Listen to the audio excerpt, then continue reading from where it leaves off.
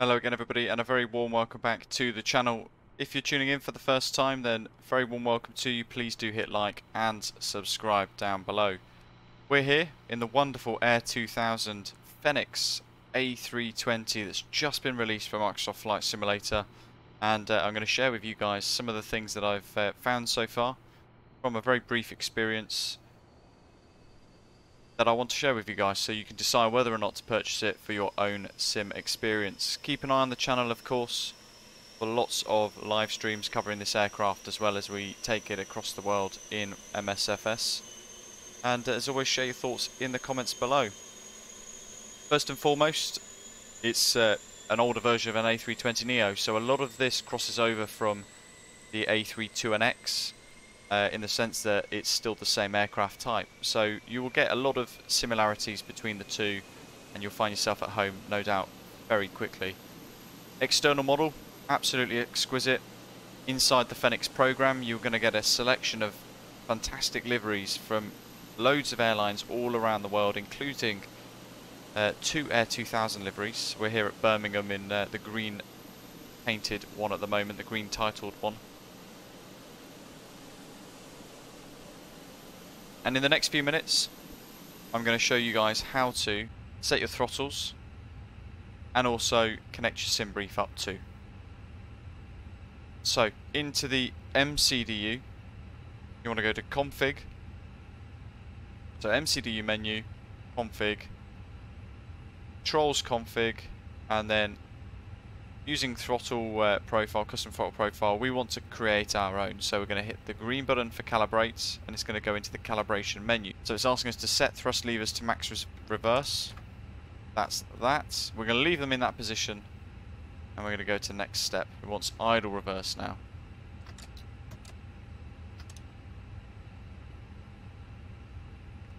And we're going to work through this, depending on what hardware you use. So I've got the Turtle Beach Velocity 1 flight. Into the climb gate, find which that's going to be flex. So right there. Find which setting works best for you, effectively. And there we go. Once you're happy, you can hit store. Done.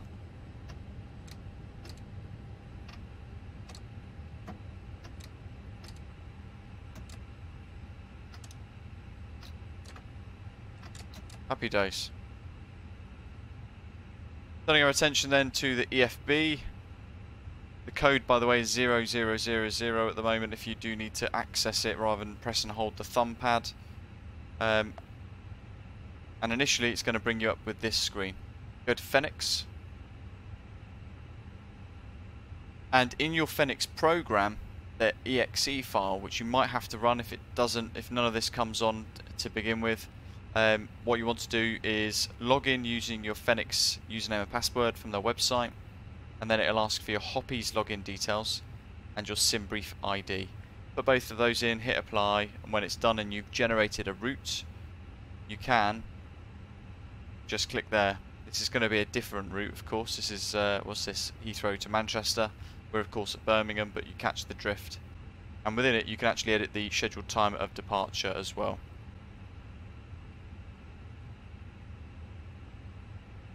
Like so. And it'll tell you how far away from your on-time departure you are. Whether you're delayed, it will go into red as well. Very cool. Ground Services tab then, bit of a whistle-stop tour. Here you can select uh, your GPU, PCA, your stairs, chocks cones as required, and you can open and close whichever doors are required too. And at the bottom on this section is where you connect your tug, and you can conduct your pushback using the back arrow and the left and the right, like so. Mass and balance is a cool one to watch. So it's pulled in our data from SimBrief at the moment and it's saying that we're going to want 162 on board, 3,971 kilos of fuel and planned fuel 4,978. So we'll have a load sheet sent to us. That's going to be inside the uh, MCDU where it says company message. That's what that's referring to.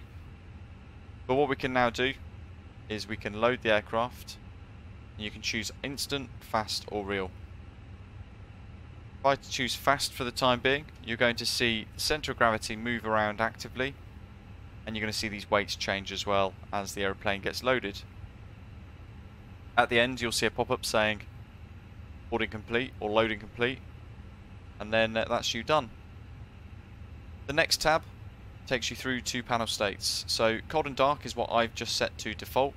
If you want to choose a different uh, default setting you can just select one. And then it'll ask you either do you want to activate it or do you want to set it as default. If I click set as default what it will then do is say actually would you also like to activate it now. So uh, you can choose which works for you again there. And in the sim settings you can customize the aircraft based upon the livery. Use the airline settings. So uh, you can set profiles for Air 2000 and then in here you can configure everything to how you would like it to work for yourselves and your own preferences as well. Uh, again, airline modifiable information, nav and go around, brake fans on or off, cabin lights and visibility, and your units as well, so you can flick between meters and feet, inches of mercury, and hectopascals and kilos and pounds. Once you've loaded everything, and you've got everything all set up, you want to go to the Departure Performance tab. This is where you're going to calculate your V-speeds effectively. Uh, and again, we're still loading, so we can do a preliminary load sheet. And in here we can click Echo Golf Bravo Bravo, and uh, we'll go with runway 13, uh, 33 for now. Live weather suggests the crosswind and then when we're happy we can hit calculate. What it will do on the right hand side is it will give us our V speeds. You can change your uh, flap configuration if you want to, your force toga, whether your packs are on or not, uh, anti-ice as well. If you change any of the data, just recalculate it again. There we are. So it's suggesting flaps 1, flex of 60, and our V1 147 rotate 147 V2 149 and uh, all of that will go into your performance page there when you get around to that stage of your pre-flight planning. If you want to fly an intersection departure you can just click here, view intersection data and you can pick one. So I know Echo is routinely used. We can select Echo and it's going to recalculate our V speeds and it's going to give us an even lower flex and the same goes for the arrival performance too. Navigraph, you can link it up to a really nice UI actually, the nicest I've seen so far within this. Look at that, fantastic. So you can add it and you can bring up all your charts in the EFB. And your pilot brief will give you lots of handy information showing you your route from SimBrief. Of course this isn't going to be correct, we're not at London Heathrow, but for the purpose of the example, you can just click drag, scroll through you can get your weather briefing as well and pick up any NOTAMs that might be relevant. In this section at the bottom in documents you have your normal checklist which you can use to assist in your uh, pre-flight checks and everything else all the way through to parking and shutdown. And also the Fenix A320 user guide as well. So uh, if you do get stuck in flight and you think mm, actually I want to refer to something quick check something then uh, that's how you do it Happy days. If you want to use an iPad to connect this EFB to a different screen, you can use external device and it will give you all the instructions to connect that up on the external device as well. A really smart bit of kit and actually by far the most impressive EFB that I've seen in any flight sim so far. Textures wise, really nice, bearing in mind it's, a, it's supposed to be a much older aircraft. Um, I think they've absolutely nailed it with some of these textures, that one especially uh, I've looked at it multiple times and I find it very very nice indeed and uh, most of the controls and the dials and things have all got that slight weathered effect which look quite remarkable in the sim. One thing that I think is very cool is this analog standby instrument. You pull it, it will level itself out with one of the most amazing animations I've seen.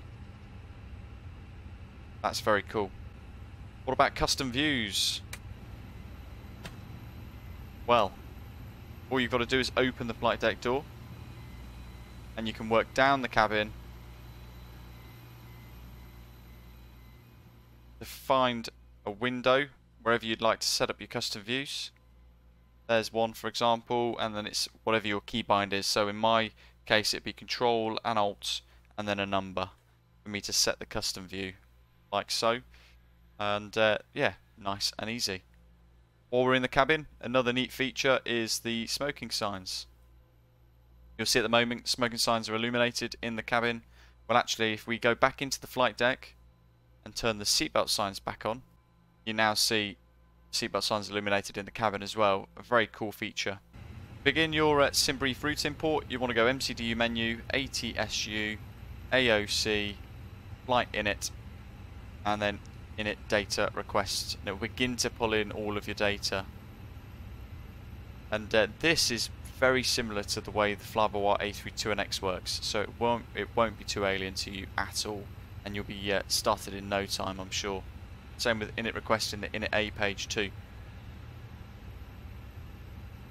Use the load sheet in the EFB to assist you in completing the uh, zero fuel weight and zero fuel weight central gravity fields at the top here, uh, and then it will allow you to calculate the block fuel too and uh, don't forget to use that takeoff performance calculator there to work out all of your V-speeds too. So there we have it. Share which routes you're going to be flying in your Fenix A320 now it's uh, being delivered into our sims. I hope you enjoy it. I'm looking forward to bringing you lots of great content using this aeroplane, including some tutorials. Don't forget to hit like and subscribe, and I'll see you very soon. Take care.